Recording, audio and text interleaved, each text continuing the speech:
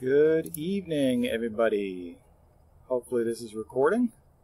We'll find out later if it's not. If it's not, you'll never see it.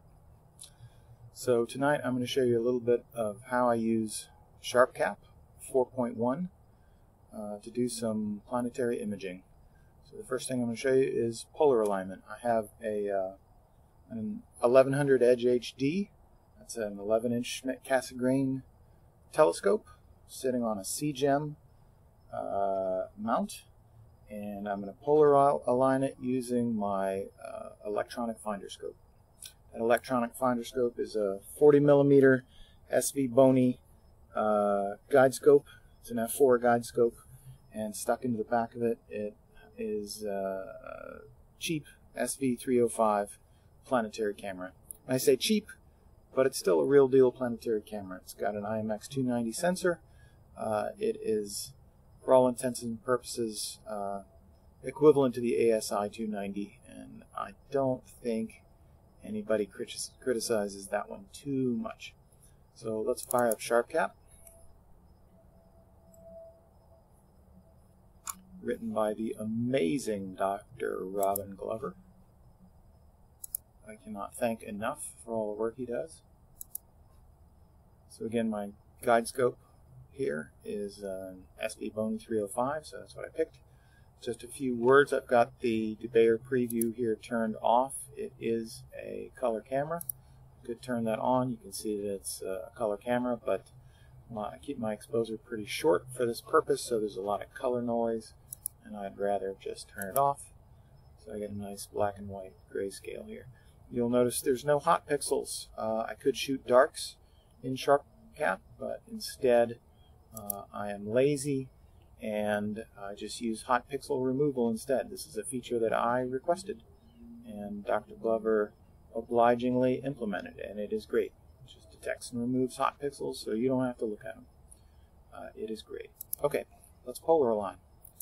Go to Tools. I'm going to choose Polar Align. SharpCap looks at the sky and plate solves near the pole. It has solved. I'm not going to go through all the settings here to get this working just right. It can be a little bit finicky, uh, but it is not too bad. Um, and you can see it says press next button before rotating the RA axis. So I'm going to hit next, and then I'm going to rotate the RA axis. And what SharpCap does here is it plate solves before you rotate the axis, and it plate solves after you rotate the axis. One second. And it compares those two images and it figures out the rotation axis. And it knows that's where the rotation axis uh, of the telescope is pointed at. So I'm going to hit next.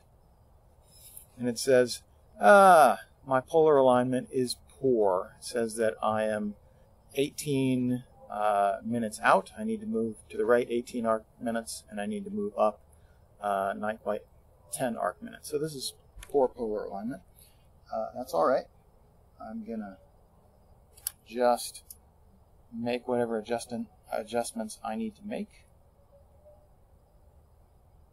So I'm moving my axis to the right. Sometimes on my mount it goes a little bit in the wrong direction first. That's okay. It'll tighten up.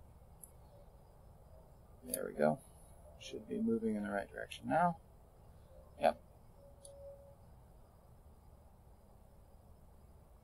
and you can see that now I changed the uh, right left first because that arrow was larger but now the up down is larger. So I'm going to work on that. A little up. A little up. Now my right is larger again. I'm going to work on that. And I make small movements because if you make large movements, then you overshoot, and that's no fun. Mostly have to go up now.